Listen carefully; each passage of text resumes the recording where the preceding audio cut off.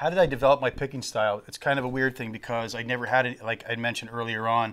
Um, there, we, nobody really had any instruction, you know, because I, I lived in a small town outside of Montreal, Quebec, Canada, and um, you know, this was late 70s, early 80s. And uh, again, yeah, we, there was no instructors or videos or anything that we can bounce off of. You know, you should play like this or do this or do that. So it was just kind of, again, just learning from the next guy who didn't have a clue as well. So, um, but I just, I don't know, for whatever reason, I felt more comfortable playing with these two fingers.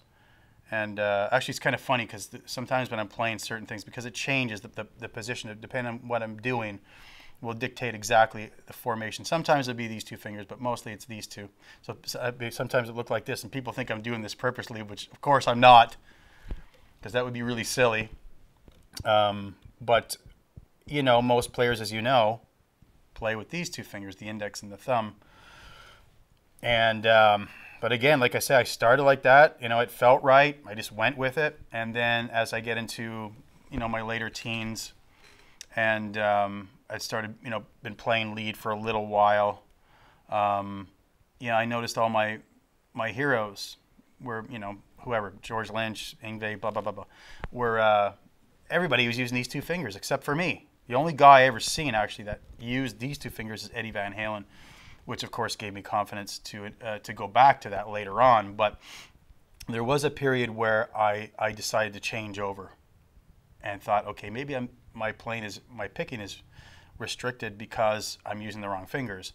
And then I found out that that wasn't the case after about six months of trying to do that. And then in the end, I ultimately just went back and um, and just went from there, and things progressed. So, um, and I get asked that question a lot, where people, you know, how do you pick? How what's the right way to do it? You know, all this palm muting, yada yada. And there's not one. I mean, there's obviously certain guidelines, but I mean, it's there's not one particular way that you're going to pick and you know you can't deviate from it. That's not true. And there's other players in the industry too.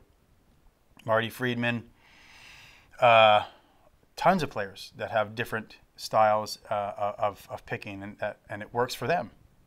So if it works for you and, and you don't feel like you're restricted in, as far as being able to accomplish what you want to accomplish, then uh, you know you're probably on the right track as far as you know as far as I'm concerned.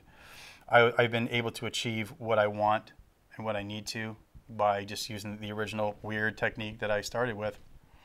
And, um, you know, it's just, it's been like that ever since. So, um, and one thing I also picked up too was uh, from Vinnie Moore, um, another great player out there um, who's, uh, he, he, had demonstrated um, in a video a long, long time ago where um, most players when they're doing the, the, the, alternate picking fast stuff, they use their wrist, which is great. Again, if it works for you, great. But he suggested using your arm, so kind of like you know, using your doing that, just kind of making that one piece and just you know. And I started to incorporate that, where when I do the alternate picking stuff, I use my my arm. So, and his his outlook was, you know, you, you can play cleaner, probably because that's the way it worked for him.